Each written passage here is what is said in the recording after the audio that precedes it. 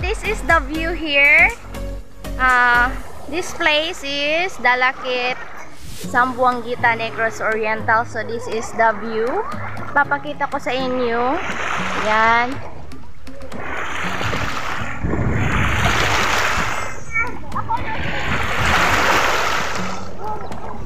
Yan, sobrang init guys. But, ayan. Maligo muna tayo kasi nga, hindi wala pa akong ligo guys.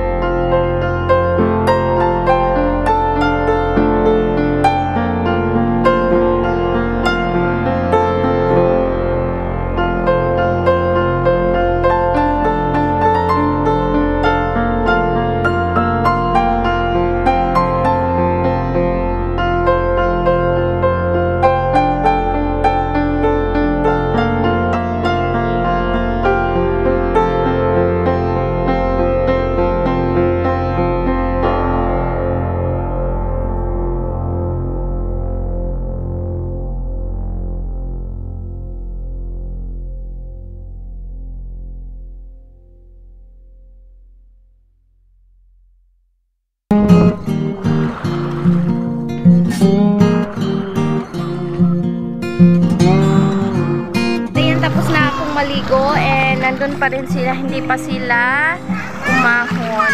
Tapos si Rainwell gusto pa niyang maligo. Ayan siya sa likod. Rainwell!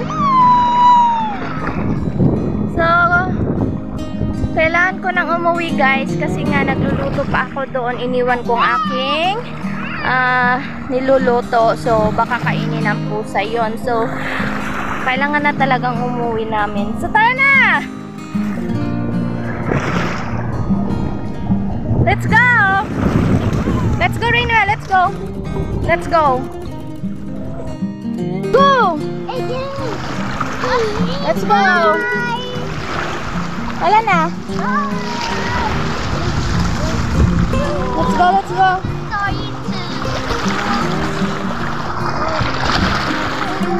Wala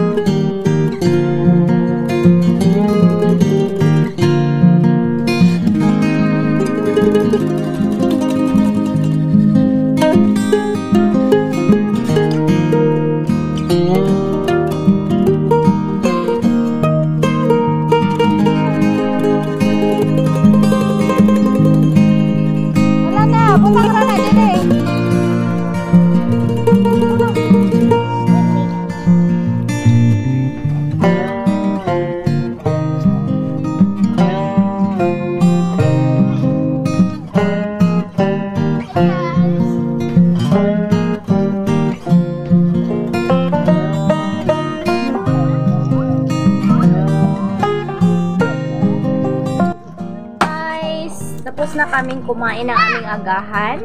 And, ayan, so tapos na tayong maligo kanina sa dagat. So, umuwi kami dito guys para kumain ng agahan. And for now, is gagawa kami ng experiment na homemade ice cream. Gawa ng fita. Ayan, At so saka gagawa kami ng fita homemade ice cream with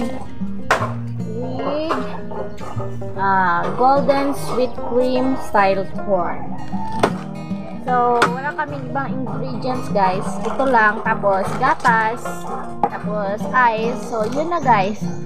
Tingnan natin yung magiging outcome niya. Here we go guys with our homemade ice cream. So we have the ingredients, golden sweet cream style corn and two pieces of two pack of feta.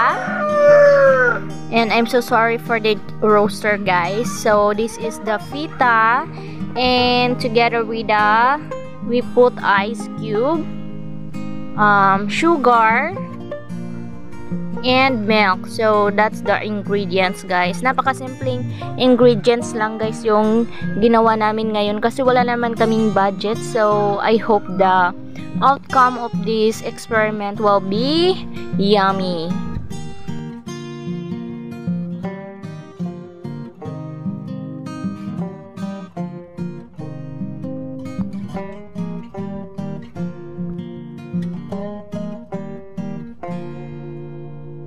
Guys, ito na yung ginawa naming homemade ice cream na made of sweet corn. Ayan.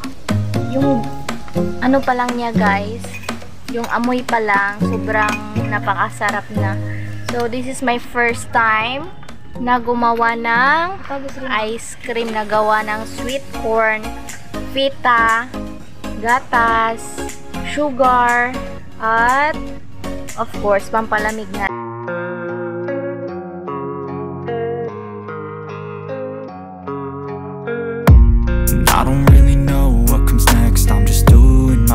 Even though I'm so stressed out.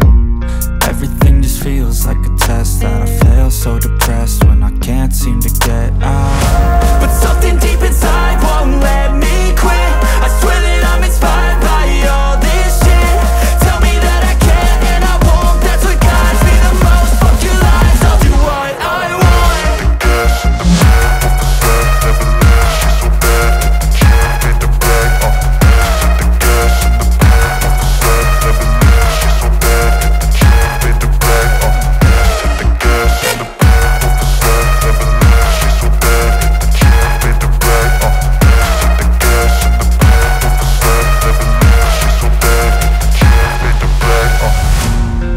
inspired by thirst, I'm inspired by worth. I desire your worst, so you can just hide while I work.